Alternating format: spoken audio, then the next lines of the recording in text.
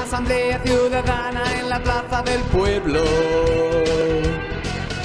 La gente está muy harta, con ganas de cambiar.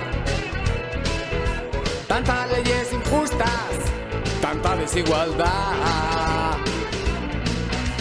Hay una asamblea ciudadana en la plaza del pueblo.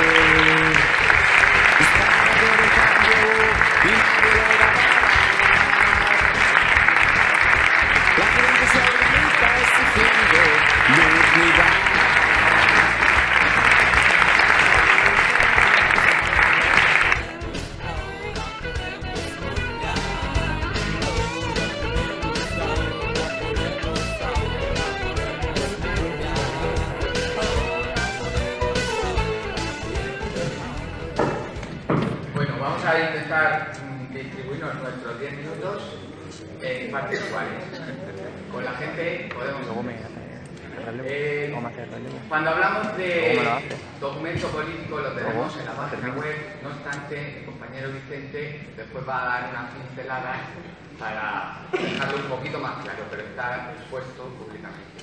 Yo creo que todos y todas las que estamos aquí estamos de acuerdo en el objetivo final. Sabemos dónde queremos ir.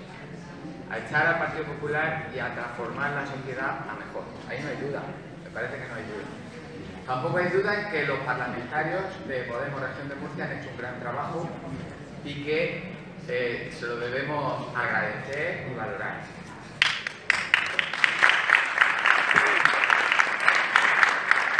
lo cual no está reñido con que la Secretaría General haya podido desarrollar el gran trabajo que requiere esta región, que está muy diseminada, que está muy empobrecida políticamente, si nos comparamos con otras regiones, y que requiere un esfuerzo extra que quizá los superpoderes de los seis diputados no han sido capaces de desarrollar, porque después de los representantes de círculos territoriales y sectoriales, está claro, bueno, y sobre todo después de escuchar el informe de nuestro secretario de organización, está claro que tenemos que ser más y mejores.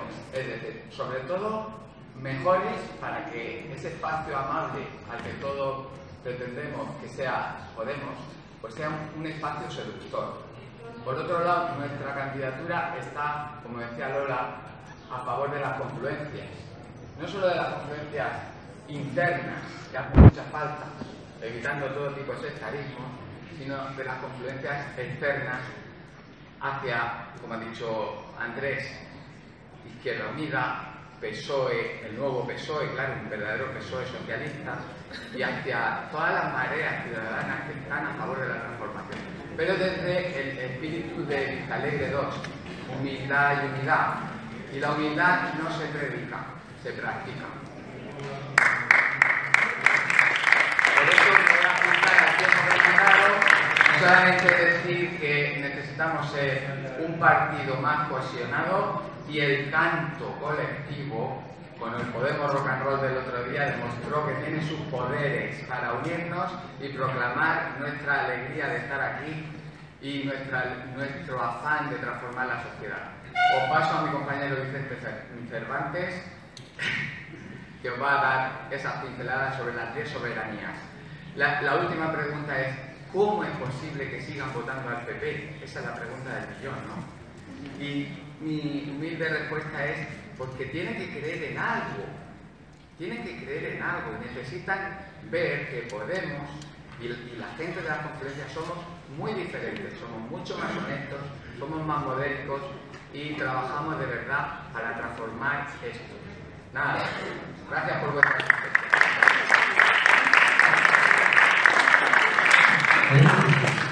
Vamos a ver.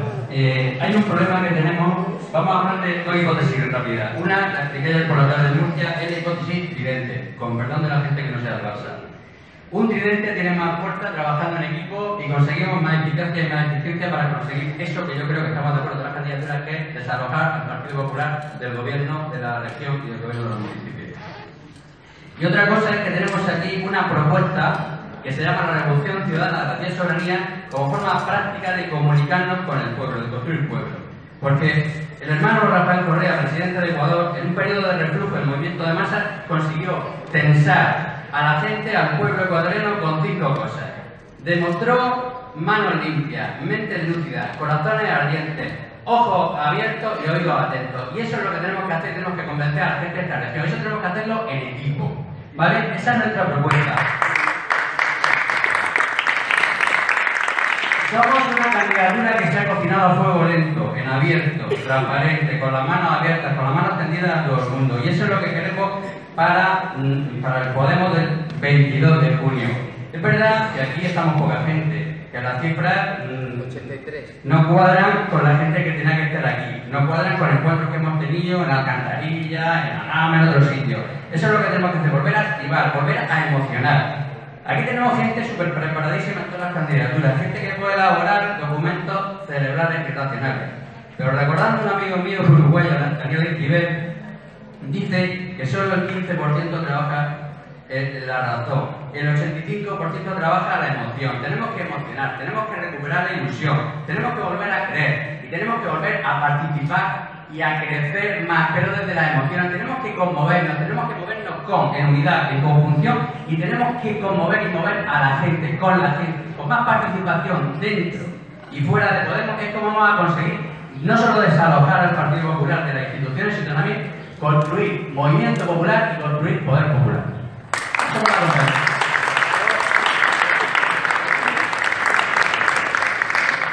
Eh, bueno, no sé si hay alguno que no me conoce, soy Marcela Crespo. Me presento porque no ha sido tan mediática y seguramente habrá algunos que no me conocerán. Eh, yo he estado siguiendo el debate y escuchando a todas las concienzudamente, especialmente eh, anoche, ayer, para preparar y decir a ver qué digo hoy aquí. Y bueno, estoy eh, bastante contenta porque estamos ganando en el debate de las ideas. Eh, cuando comenzamos a explicar nuestros documentos políticos, una de las soberanías que hemos hecho hincapié desde con la gente Podemos es eh, la soberanía energética y la soberanía del agua. Si seguís los discursos que ha hecho Oscar, que ha hecho Lola y todos los compañeros, eh, ha habido una evolución en ese discurso, una evolución positiva. Eh, se empezó a hablar del agua como, digamos, un bien escaso. Eh, luego se pasó a hablar de autonomía del agua y no se utilizaba la palabra soberanía.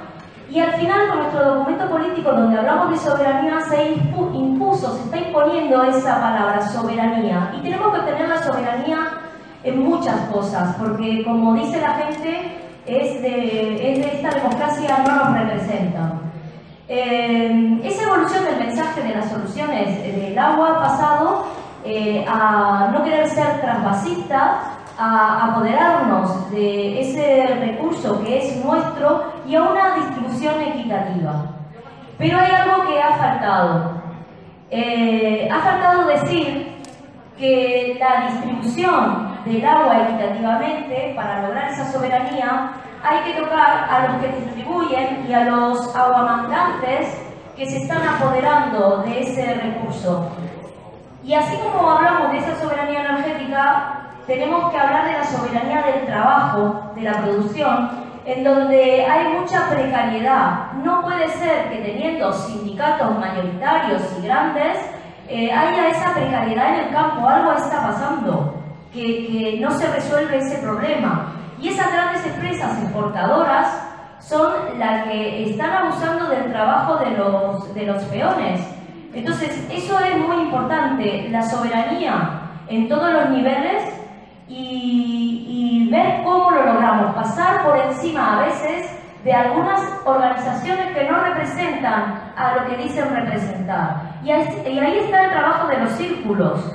Eh, ayer decía Pablo Iglesias, eh, somos un partido, movimiento eh, municipalista. Al ser muni- municipalista tenemos que estar desde abajo en los municipios trabajando.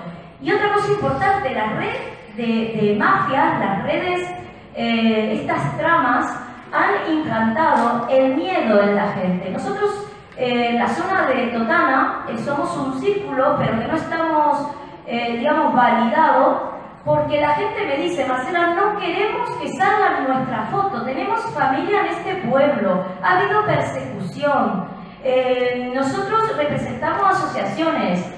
Eh, por favor, no nos saques en la foto, pero vamos a ver compañeros que si no piensan que en Totana no tenemos círculo. ¿Y cómo hacemos? Pues Marcela, vamos a trabajar aquí en el municipio en donde nosotros estamos, pero no podemos dar la cara porque tenemos miedo. Y aparte porque hay gente que no es de Podemos, pero simpatiza con Podemos, y simpatiza mucho. Y, dice, sigue así, te llevamos nuestros problemas, pásalo a, tus compañeros para que traten estos temas. Y es el trabajo que he hecho estos dos años, que una de, las trabas que, que he tenido particularmente es no poder dar cuentas de mi trabajo en el Consejo Ciudadano. Y lo voy a preparar estos días, dar cuenta de estos dos años de trabajo y de conocernos entre nosotros. Tenemos que conocernos más, por eso eh, los correos electrónicos, los teléfonos, no para controlar, sino para estar interrelacionados en una inteligencia colectiva y no selectiva. Muchas gracias.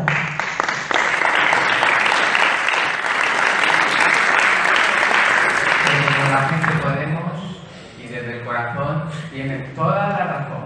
La razón emocional porque podemos ser cordiales, podemos sonreír y hacemos lo que podemos con humildad.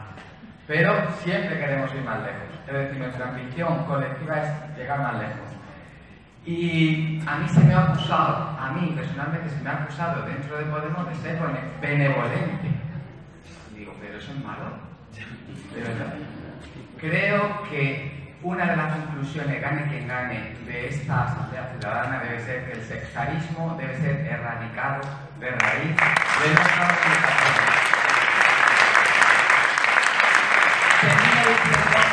Que ayer hablando con una ciudadana muy normal me dijo, me gusta Podemos, pero lo que le habéis hecho a Íñigo Rejón digo, vamos a ver, Íñigo Rejón sigue en Podemos, sigue estando ahí, pero la gente percibe que se le ha apartado a un gran valor dentro de Podemos. Podemos coincidir al 100%, al 70%, al 60%, pero quien no reconozca que Íñigo Rejón es una de las mentes privilegiadas y mejor capacitadas dentro de Podemos para seguir haciendo de portavoz y representar muy dignamente a nuestro partido movimiento, está siendo sectario y merecería eso, coger la puerta y salir. No es sectarismo, ni la cordialidad. ¿Y cómo es Álvaro? Que el otro día puso en la red con Lola Gente Podemos y ha pedido el voto por Lola, está ahí con la gente Podemos y yo lo adoro, ¿eh? porque somos candidaturas hermanas.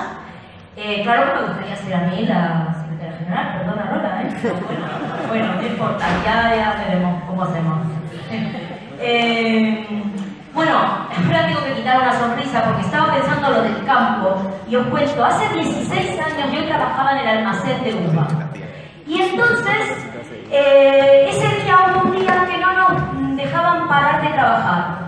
Y yo tenía ganas de comerme el bocadillo. Y no nos dejaban, estoy hablando de hace 16 años. Y no nos dejaban. Y yo miraba a la gente que se iba descomponiendo, que se iba desmayando las caras, las caras. Digo, pero por favor, digo, pero ¿por qué no se levanta nadie aquí? Entonces, me levanté, me fui a un rincón mientras todos seguían empaquetando la uva, la uva, la uva, porque no sé qué pasaba, que los camiones tenían que salir y me pongo a comer mi bocadillo, que ya no tenía hambre, pero que yo me quería comer de indignación el bocadillo. Entonces eh, me dice la encargada, ¿pero qué pasa? ¿Es que tienes diabetes? Le digo, no, es mi 15 minutos de bocadillo. Bueno, imaginarme, bocadillo me fatal, ¿no? Me despidieron, me despidieron. Entonces cuando fui a buscar el cheque porque les hice yo digo, madre, la gente inmigrante con la cabeza gacha porque tenían que llevar el dinero a sus casas como para permitir que, que, los despidan. Yo estaba separada en ese entonces, tenía dos niños y recibía un, un, poquísimo dinero. Le digo, pero tú me vas a, a a mí por un 15 minutos de bocadillo míos si nos levantáramos 200, pues vamos a ver, esto aquí no sale ni una ni sale nada. ¿eh? Y eso es lo que hay que hacer.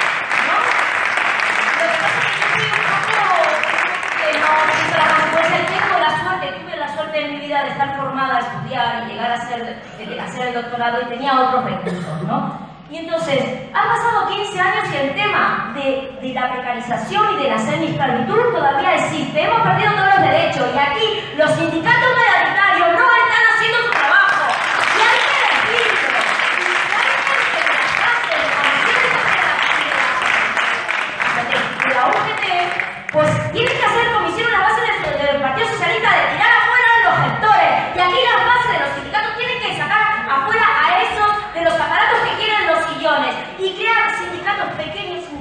siguientes. Estoy diciendo siempre me pasa lo mismo, porque es que tengo una energía que no sé por dónde canalizarla. Gracias, eh, aquí en este documento que está circulando por las redes con más de 6.000 y vistas, viene las tareas básicas y urgentes para la nueva etapa de Podemos antes del 30 de septiembre y va incluido medidas para los círculos, para su apoyo y su Solamente decir que con la gente Podemos nos congratulamos de que en esta fase final de la campaña estemos convergiendo en el lenguaje, incluso aproximando conceptos y, preparando el escenario post-21 de junio, donde tenemos que ser un equipo cohesionado, compacto, a mitad de partido, para ganar el final de partido, que de momento va a ser el 2019. Nada más.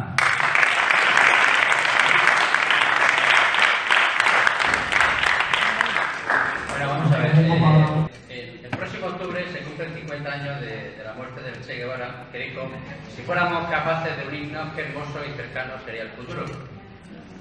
Creo que esto se puede aplicar para organizar la huelga general del campo que se está organizando, que la están organizando musulmanes senegaleses, entre otros compañeros y compañeras, ¿vale? Lo digo por, por no establecer patrones de generalización, de fotos y análisis que son eh, bastante discutibles, por no decir otra cosa, ¿vale? Quiero decir que hay compañeros y compañeras que tienen circunstancias personales, que funcionamos mucho en clave individual, en vez de darnos la mano, en vez de mirar al compañero o la compañera, pues resolvemos nuestros problemas en solitario. Ese es el problema que tenemos el individualismo. Si trabajáramos más en común, más en unión, dentro y fuera de Podemos, estaríamos en otro escenario bastante distinto. Tenemos que aprender de los compañeros y compañeras de color negro, africano, que muchos son musulmanes, ¿vale? que han organizado una huelga salvaje autoorganizándose en Perichán, en Mazarrón. Han organizado otra ilegal. Esa es la solución. Solo con la gente podemos.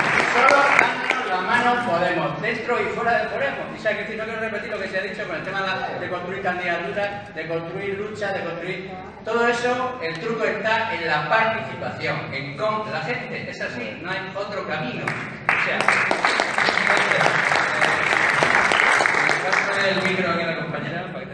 Solo leer algo que salió de nuestra candidatura en el periódico. Debemos evitar que caigan en las redes de expresidentes con bigotito franquista que presentan un proyecto neoconservador disfrazado de regionalista. ¿Y sabéis lo que hizo el periódico? Ponerme esta foto de fea. ¿Eh? Porque los periódicos también eligen la foto. Pero no está fea porque estaba comiendo limón murciano.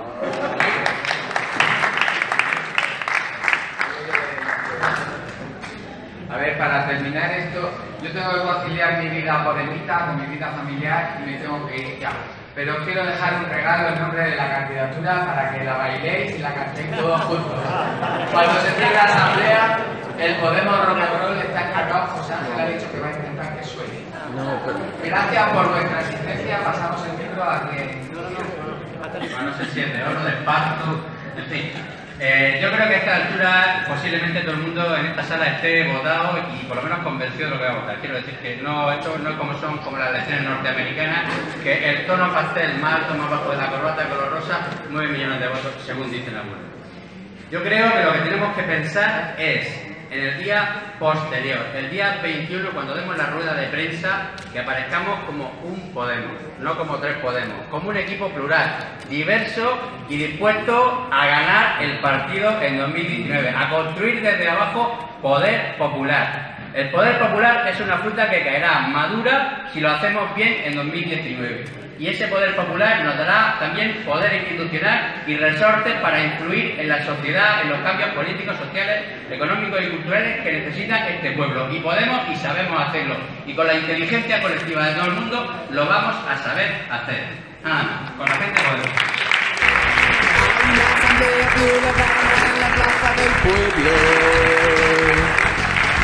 La gente está muy harta, con ganas de cambiar. Tantas leyes injustas, tanta desigualdad. Hay una asamblea ciudadana en la plaza del pueblo. España quiere un cambio y nadie lo va a parar. La gente se organiza exigiendo dignidad.